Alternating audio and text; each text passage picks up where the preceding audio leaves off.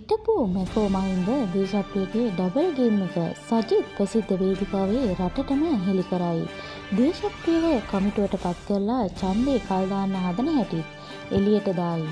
සීමා නිර්ණය කොමිසමක් පත් කර එහි සභාපති ලෙස මහින්ද දේශප්‍රිය මහතාව පත් කර ඇති බවට වාර්තා වන බවත් එම කමිටුව හරහා උත්සාහ කරන්නේ මැතිවරණය කල් දැමීමට විය හැකි බවත් පැවසූ විපක්ෂ නායකතුමා කියා සිටියේ විවිධ වචන හරඹ සිදු නොකර තවදුරටත් කල් නොදමා පළාත් පාලන මැතිවරණය පැවැත්විය යුතු බවයි.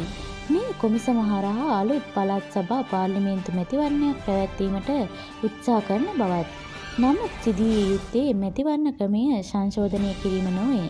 ජනතාවගේ මතයට ඇහුම්කන් දී ඔවුන්ට ඡන්දය ලබා දිය හැකි ලෙස ප්‍රජාතන්ත්‍රීය ලෙස මැතිවරණය පැවැත්වීම බවත් විපක්ෂ නායක සජිත් ප්‍රේමදාස මහතා පැවසීය.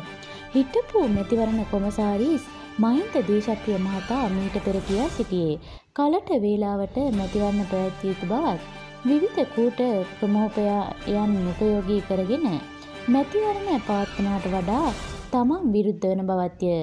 ඔහුගේ ඒ ප්‍රකාශයත් අදටත් වලංගු නම් විපක්ෂයක් ලෙස ඉල්ලා සිටින්නේ සීමා නිර්ණය කොමිසමේ සභාපතිකම ලබාගෙන මැතිවරණ කල් දැමීමේ කූට උපක්‍රමය හසු නොවන ලෙසය.